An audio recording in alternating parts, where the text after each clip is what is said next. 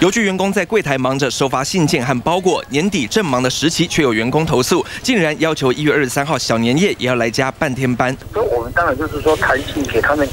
要自由。你们如果说可以调班的话，那就是调一调。那如果当然有要出国的，或者是说南部你要改天回去，那我们也没有说一定都不行。今年年假从一月二十三号放到二十九号，一月二十三号是弹性放假，要在二月十五号补班补课。邮局有员工不满，一月二十三被要求加班，但二月十五号仍然要补班，怒呛蔡政府的政策为何交通部不配合？我们基于呢便民跟用油的一个需求呢，所以我们在那天呢还是呢比较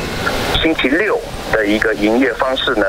那么提供呢半天的一个服务。中华邮政表示，一月二十三号并非国定假日，比照周六上半天班，从上午九点到中午十二点，全台有两百八十八个支局需要营业半天，都会依照劳基法规定执行。法令规定特别休假是由劳工来排定，所以雇主不能拒绝，所以我们会建议这个部分还是要去体谅那个连接员工返乡的休假的需求，还是要去内部的沟通协调。台湾邮政产业工会则表示，明明年二月十五号竟然已经补班，一月二十三号又要比照周六上班，让员工相当辛苦。虽然一月二十三号比照休息日加班并没有违法，但中华邮政也应该要考量员工返乡的需求。记者卢义宏、王一仲台北报道。